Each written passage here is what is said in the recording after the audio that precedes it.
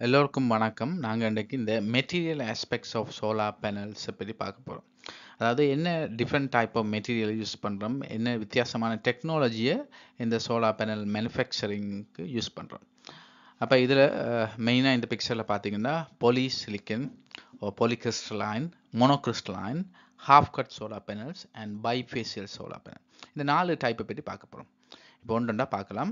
இப்போ polycrystallineன்றது வந்து நாங்கள் வந்து இப்போ ஓல்ட் டேஸில் இப்போ ஒரு 10 இயர்ஸ்க்கு முதல் நாங்கள் யூஸ் பண்ண பேனல் எல்லாமே polycrystalline. அது ஒரு ப்ளூ கலரில் இருக்கும். இது ஓல்ட் டெக்னாலஜி. இப்போ நாங்கள் ரீசெண்டாக யூஸ் பண்ணுற பேனல்ஸ் வந்து monocrystalline. ஸோ monocrystallineன்றது இம்ப்ரூவ்டான டெக்னாலஜி. இப்போ இதில் இந்த மெட்டீரியலை மெயினாக பிளெயின்லி மெட்டீரியலை மட்டும் பார்க்கும்போது மூன்று டைப்பை நாங்கள் பார்க்கலாம். அதில் வந்து monocrystalline, polycrystalline, thin film thin film டெக்னாலஜின்ற ஒரு நியூ டெக்னாலஜி வந்திருக்கு. அப்போ இந்த monocrystalline வந்து பியூர் சிலிக்கனு யூஸ் பண்ணுறோம் அதான் இப்போ லேட்டஸ்ட்டாக நாங்கள் பியூர் சிலிக்கன் யூஸ் பண்ணுறோம் இப்போ polycrystallineல மெல்டட் சிலிக்கன் கிறிஸ்டல்ஸை யூஸ் பண்ணுறோம் தின் ஃபிலிமில் வெரைட்டி ஆஃப் மெட்டீரியல்ஸ் டிஃப்ரெண்ட் மெட்டீரியல்ஸை யூஸ் பண்ணுறோம் அப்போ இங்கே எபிசியன்ஸை நாங்கள் முக்கியமாக ஆஸ் அ டிசைனர் அப்போ இன்ஜினியர்ஸ் பாயிண்ட் ஆஃப் வியூவில் எபிசியன்ஸை பார்த்தோம்னா இப்போ யூஸ் பண்ண மோனோகிறிஸ்டலைன் வந்து twenty four point four percentage efficiency கிடைக்குது. பொலிகிறிஸ்டலைன் வந்து நைன்டீன் பாயிண்ட் நைன் பர்சன்டேஜ் கிடைக்குது. அப்போ இந்த மோனோ மோனோகிறிஸ்டலைன் தான் இப்போ வந்து இண்டஸ்ட்ரியில் எல்லாருமே ப்ரிஃபர் பண்ணுவீங்கன்னா மோனோகிறிஸ்டலைன் இப்போ ஒரு ஒரு டார்க் கலரில் ஒரு பிளாக் கலர் அதில் இருக்கும் மோனோகிறிஸ்டலைன் பொலிகிறிஸ்டலைன் ப்ளூ கலரில் இருக்கும். இது வந்து ஒரு ஓல்டு ஒரு ஃபைவ் இயர்ஸ் சிக்ஸ் இயர்ஸ் போன இன்ஸ்டாலேஷன் எல்லாம் வந்து பொலிகிறிஸ்டலைன் யூஸ் பண்ணிக்கணும்.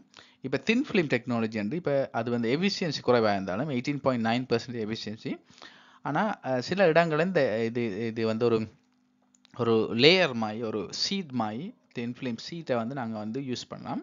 இது ஈஸி டு இன்ஸ்டால் ஏன்னா நாங்கள் வந்து இதில் ஒட்டி ஒட்டி வைக்கலாம். இப்போ நீங்கள் நிறைய யூடியூப் வீடியோவில் பார்த்தீங்கன்னா இந்த புது டெக்னாலஜிலேருந்து சோலார் பேனல் சீட்னு சொல்லுவோம். அதை வந்து இது ஈஸியாக ஒட்டக்கூடிய இருக்கும். அதனால் இது ஒரு நியூ டெக்னாலஜி ஈவன் தோ அதாவது எஃபிஷியன்சி குறைவாக இருந்தாலும் இதுக்குடைய அப்ளிகேஷன் வந்து கூட நிறைய இடங்கள் நாங்கள் ஈஸியாக அதை ஒட்டி விடலாம். இந்த சீட்டுன்றதால இதையும் ஒரு டெக்னாலஜியாக யூஸ் பண்ணுறோம் இப்போ வெயிட்டும் ஒரு மேட்டர்ஸ் இங்கே இந்த வெயிட்டஸ் வெயிட்டை கன்சிடர் பண்ணிக்கு இது வெயிட் குறைவு. தென் ஃபிலிம் வந்து வெயிட் குறைவு. மோனோகிறிஸ்டன் வந்து little bit of weight but technology wise நாங்கள் வந்து மோனோகிறிஸ்டனை யூஸ் பண்ணுவோம் இப்போ இப்போ கொஞ்சம் டீப்பாக வந்து இந்த மெட்டீரியல் உள்ளுக்க பார்த்தோம்னா ஸ்ட்ரக்சரை பார்த்தோம்னா monocrystal to make cell for monocrystal panel silicon is formed into bars and cut into wafers இங்கே இதில் பார்த்தீங்கன்னா இந்த இந்த டெக்னாலஜி வந்து இந்த பாரை யூஸ் பண்ணி அப்புறம் வேஃபர்ஸை கட் பண்ணிடும். இப்போ இது வந்து இந்த ஃபேப்ரிகேஷன் படி படிக்கிறார்களுக்கு தெரியும். இந்த இது வந்து எப்படி அதை ஃபேப்ரிகேட் பண்ணி எங்களுக்கு இதில் ஆக டீட்டெயிலாக பொறுத்தவரையில் நாங்கள் வந்து இந்த கலரை வச்சு ஐடென்டிஃபை பண்ணக்கூடிய இருக்கணும். இந்த மோனோகிறிஸ்டை வந்து பிளாக் கலரில் இருக்கும். இது நியூ டெக்னாலஜி இதில் நடுவில் வந்து இந்த இந்த மாதிரி ஒரு ஸ்ட்ரக்சராக இருக்கும் பொலிகிறிஸ்டன் வந்து இது வெறும் ஸ்கொயராக இல்லாமல் இது ஒரு ஒரு ஒரு ஒரு எல்லா கோனர்ஸ்லேயும் வந்து இப்படி ஒரு கட் பண்ண மாதிரி இருக்கும். பொலிகிறிஸ்டன் வந்து ஒரு சிம்பிள் ஸ்கொயர் ஷேப்பாக இருக்கும். இது வந்து ஓல்ட் டெக்னாலஜி அப்போ இதில் வந்து நாங்கள் வந்து எப்பயுமே இப்போ இண்டஸ்ட்ரியில் ப்ரிஃபர் பண்ண சொன்னால் நாங்கள் மோனோகிறிஸ்டலின் தான் ப்ரிஃபர் பண்ணோம் ஏனெண்டா சிம்பிளாக எஃபிஷியன்சி கூட. ஒரு about twenty five percentage efficiency கிடைக்கும் மோனோகிறிஸ்டலினில் அப்போ அடுத்த இப்போ வந்து இது ரெண்டும் பியூர்லி இந்த மூன்று விஷயமும் மோனோகிறிஸ்டலின் பொலிகிறிஸ்டலின் தின் ஃபிலிம் மூணுமே வந்து மெட்டீரியல் ஆஸ்பெக்ட்ஸ் ஆனால் நாங்கள் டீட்டெயிலாக நீங்கள் மெட்டீரியலில் மெட்டீரியல் ஸ்டடீஸ் பண்ணுறாக்கலாம் அதுக்குள்ளேயே என்னென்ன டீட்டெயிலாக போய் பார்க்கலாம்? அது ஏன் அந்த மெட்டீரியல் சூஸ் பண்ணுறீங்க என்னென்ன மெட்டீரியல் ஆஸ்பெக்ட்ஸ்னு நாங்கள் வந்து ஜென்ரலாக ஒரு ஒரு டிசைனர் பாயிண்ட் ஆஃப் வியூவில் இந்த மெட்டீரியல் ஆஸ்பெக்ட்ஸ் இவ்வளோ தெரிஞ்சால் காணும் மொனோகஸ்டின் என்ன பொலிகஸ்டின் என்ன தின் ஃபிலிம் சீட்ஸ் என்ன ஏன் அதை யூஸ் பண்ணுறோம் இவ்வளோ தெரிஞ்சால் காணும் அடுத்த வந்து சோலா ஸ்டாண்டர்ட் சோலா பேனலுக்கு முடியல half cut solar panel half cut solar technology வந்து ஹாஃப் கட்ன்றது என்ன செய்யணும்னா ஒரு சிம்பிள் ஐடியா அதாவது இந்த நாங்கள் முதல் படிக்க இந்த பழைய வீடியோஸ் போய் பார்த்தீங்கன்னா தெரிஞ்சிருக்கும். இப்போ ஃபார் எக்ஸாம்பிள் ஒரு செல் இதில் டேமேஜ் ஆகுது. ஏதோ ஒரு ரீசனால் இந்த பர்டிகுலர் செல் டேமேஜ் ஆனால் நாங்கள் முதல் படிக்க சொன்னாங்க இந்த எந்த சீரீஸ் வந்து எஃபெக்ட் ஆகும் இந்த எந்த சீரீஸில் உள்ள கரண்ட் வந்து கிடைக்காது எங்களுக்கு. ஏன்னா uh, இங்கே ஒரு இடத்துல அந்த கரண்ட் எல்லாம் வந்து ஜாயிண்ட் ஆக போகுது. எல்லா கரண்டும் வந்து இந்த இடத்துல தான் ஜாயின் பண்ண போகிற போகும் அப்போ இந்த ஒரு செல் கட்டானா இந்த இந்த பாத் வந்து டிஸ்டர்ப் ஆயிடும் இந்த ரெண்டு பாத்துமே டிஸ்டர்ப் ஆகி இதில் பைபாஸ் பண்ணி கொண்டு போயிடும் இதில் பைபாஸ் பண்ணி கொண்டு போயிடும் அப்போ இந்த இந்த பர்டிகுலர் பாத் வந்து டிஸ்டர்ப் ஆயிடும் ஆனால் இங்கே என்ன சொல்கிறோம்னா இங்கே வந்து இந்த இந்த இதில் என்ன ஒன் டூ மூணு நாலு அஞ்சு ஆறு ஏழு எட்டு எட்டு செல்ஸ் இருக்குது எயிட் செல்ஸ் இருக்குது இந்த எயிட் செல்ஸ் இங்கே வந்து சிக்ஸ்டீன் செல்ஸ் இருக்குது one two three four five eight இங்கே எயிட் எயிட் சிக்ஸ்டீன் செல்ஸாக இருக்குது ரெண்டாக பிரிச்சிருப்போம் ரெண்டாக பிரித்து என்ன செய்யணும்னா இந்த சென்டரை வந்து ஒரு கண் பார்த்தா யூஸ் பண்ணுறோம் கண் கணி அடுத்த என்ன என்னபடியாக காட்டுறோம். என்ன செய்யணும்னா இந்த செல்ஸை வந்து ரெண்டாக பிரித்து செல்ஸின் சைஸும் குறைஞ்சிருக்கு. ஆனால் நம்பர் ஆஃப் செல்ஸ் கூடி இருக்குது. கரண்ட் கனியும் பாத்தில் வந்து ஒரு சேஞ்சஸ் கிடைச்சிருக்கு. ஒரிஜினல் கரண்ட் கனியும் பார்த்து இப்படி தான் இருக்கும் இதால் வர கரண்ட் வந்து இங்கே ஜாயின் பண்ணி திரும்பி வந்து இங்கே ஜாயின் பண்ணி இப்படி வந்து இங்கே ஜாயின் பண்ணி அப்புறம் வந்து இப்படி ஜாயின் பண்ணி இப்படி தான் இந்த கரண்ட் கனியும் பாத்திரம் அப்போ இதில் வந்து என்ன செய்கிறோம்னா இந்த கரண்ட் கனியும் பாத்தில் சேஞ்சஸை கொடுக்குறோம். அடுத்த ஸ்லைட்ஸில் பார்த்தீங்கன்னா உங்களுக்கு வழியாக தெரியும்.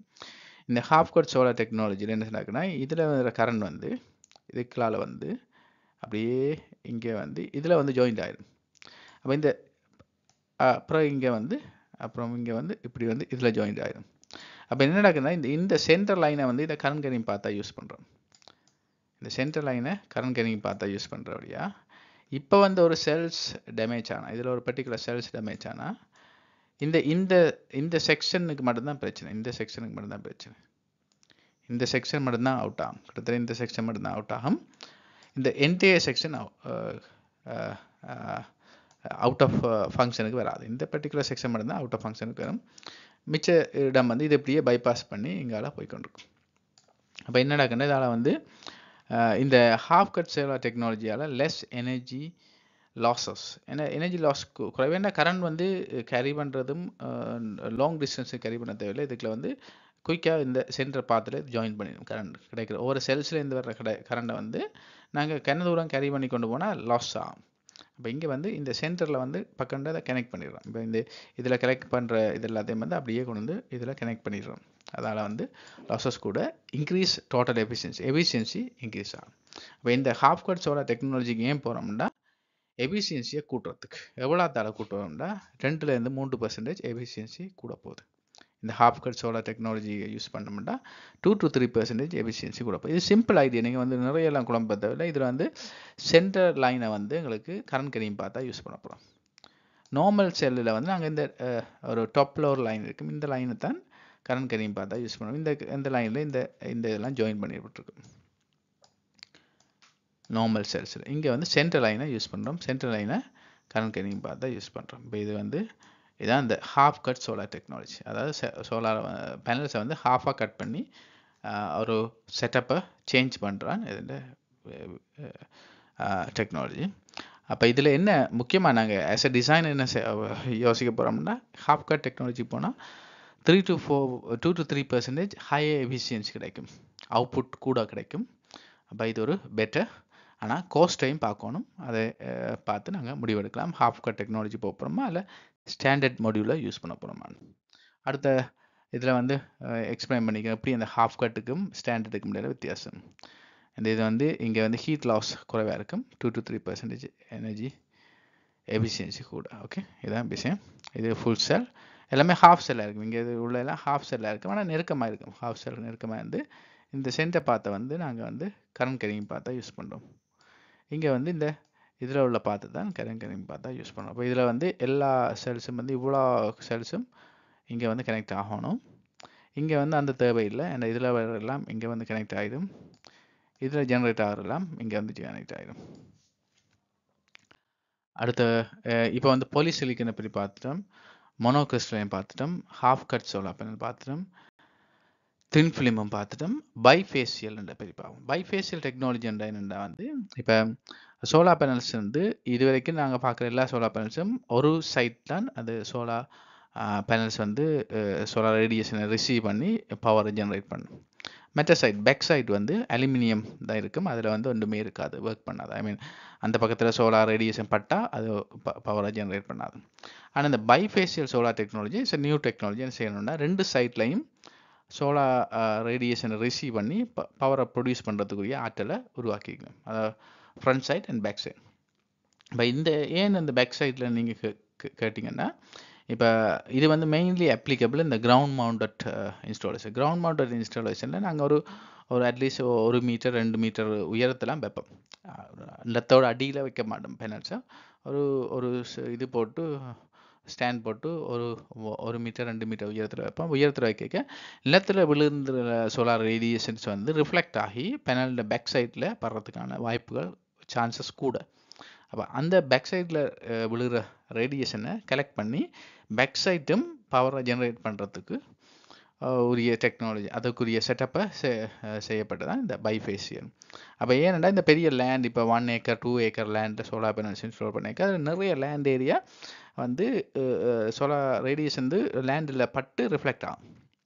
நீங்கள் பார்த்துருப்பீங்க உண்மையான இண்டஸ்ட்ரி விசிட் போயிருக்க அந்த ஒவ்வொரு மொடியூலுக்கும் இடையில ஒரு ஒரு ஸ்ட்ரிங்கிக்கு இடையில் நிறைய கேப் இருக்குது அப்போ இந்த கேப்பில் விழுகிற கேப்ன்ற கிரவுண்ட் அங்கே விழுகிற வந்து சோலார் ரேடியேஷன் வந்து ரிஃப்ளெக்ட் ஆகி பேனலில் பேக் சைடில் படுறதுக்கு சான்சஸ் அதிகம். அப்போ அதால் அந்த படுற சோலார் ரேடியேஷன் ஏன் வேஸ்ட் பண்ணுவான்னுட்டு அதை வந்து ஒரு டெக்னாலஜியை யூஸ் பண்ணி பேக் சைட்லையும் பவர் ஜென்ரேட் பண்ணுறதுக்குரிய ஐடியாவை ஒரு கான்செப்டை டெக்னாலஜியாக உருவாக்கப்பட்டதான் இந்த பைஃபேஷியல் டெக்னாலஜி ஆனால் இது வந்து உங்களுக்கு ரூஃப் மவுண்டட்டுக்கு யூஸ் ஆகாது. ஏன்னா அப்ளிகபிள் இல்லை. ஏன்னா ரூஃப் மவுண்டட் சோலார் பேனல் வந்து நாங்கள் வந்து ரூஃபை வந்து ஒரு ஒரு ஃபியூ இன்ச்சஸ் ஹைட்லாம் ரூஃப் உங்களோட ஆக்சுவல் ரூஃப்லேருந்து ஒரு ஃபியூ இன்ச்சஸ் ஹைட்லாம் வைப்போம். ஏன்னா அந்த ஃபியூ இன்ச்சஸ் ஹைட்டு ஏன் கொடுக்குறோம்னா அந்த ஏர் ஃப்ளோ கூலிங் கொடுக்கறதுக்கான இல்லைன்னா சில இடத்துல ரூஃபோடையே அப்படியே போட்டுருக்கணும்.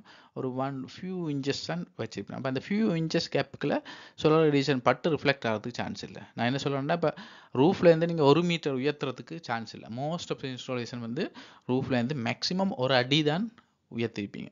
அப்போ இந்த உயர்த்தின ஒரு அடிக்குள்ள எங்களுக்கு சோலார் ரேடியேஷன் பட்டு ரிஃப்ளெக்ட் ஆகிறதுக்கு சான்சஸ் இல்லை. அதால் அதுக்கு ரூ ரூஃப் மவுண்டட் பேனல்ஸுக்கு நாங்கள் வந்து பைஃபேஷியல் பேனலை ரெக்கமெண்ட் பண்ண மாட்டோம். ரெண்டாவது யூஸ் இல்லை. ஏன்னா பைஃபேஷியல் பேனலுக்கு போய்க்க காஸ்ட் கூடவாக இருக்கும். ஏன்னா bifacial is new technology cost கூட இருக்கும். ஏன்னா ரெண்டு பக்கம் பவர் ஜெனரேட் பண்ணக்கூடிய ஆற்றல் இருக்கும் பைஃபேஷியலுக்கு தட்ஸ் ஆல் அதான் இதுண்ட சமரி சமரி என்னென்னா இந்த மெட்டீரியல் ஆஸ்பெக்ட்ஸை பார்த்தா த்ரீ விஷயம் மூன்று விஷயம்.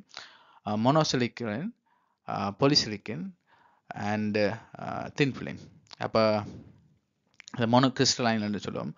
அப்போ இந்த மோனோகிறிஸ்டலைன் தான் இப்போ அட்வான்ஸ் அதை யூஸ் பண்ணுறோம் பாலிகிறிஸ்டன் இஸ் ஓல்ட் டேஸில் யூஸ் பண்ண டென் இயர்ஸ் பிஃபோர் யூஸ் பண்ணுறோம் அது வந்து எஃபிஷியன்சி குறைவண்டபடியே அதை நாங்கள் இப்போ யூஸ் பண்ணுறதில்ல தின் ஃபிலிம் வந்து இஸ் அ சீட் மாய் அந்த சீட் வந்து சில அப்ளிகேஷனில் சீட் மாய் இன்ஸ்டால் பண்ணுற இன்ஸ்டாலேஷன் வெரி ஈஸின்றபடியா ஒட்டி விடலாம் அவங்களோட ரூஃபில் ஒட்டி விடலாம் அதால் தின் ஃபிலிம் என்ற டெக்னாலஜி அது புது டெக்னாலஜி அதை யூஸ் பண்ணுறோம் அடுத்து வந்து half cut solar technology use பண்ணுறோம்னா இப்போ இதில் வந்து எனர்ஜி லாஸஸை குறைக்கிறதுக்காண்டி எஃபிஷியன்சியை கூட்டுறதுக்காண்டி கரண்ட் கேரிங் பார்த்து ஈஸியான ஒரு கரண்ட் கேரிங் பார்த்து கொடுத்து half cut solar technology use பண்ணுறோம் அண்ட் லாஸ்ட் வந்து இந்த பைஃபேஷியல் டெக்னாலஜி வந்து ரெண்டு பக்கம்